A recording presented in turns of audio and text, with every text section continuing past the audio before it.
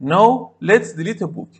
For deleting a book, we just need its ID and we don't need body. So let's implement it. We need a new route for deleting a book. For method, we use app.delete. Delete method is the standard HTTP method to delete a resource. For route, we use a slash books a slash colon ID. Again, we have an async callback function and then try catch blocks. In catch, we receive the error. First, I log it to the server console, then I return a response with a status of 500 and error message. Now, let's go to the try block. ID structure the ID from request.params. Then I use book.find by ID and delete and pass book ID to it and I save the result in a variable named result.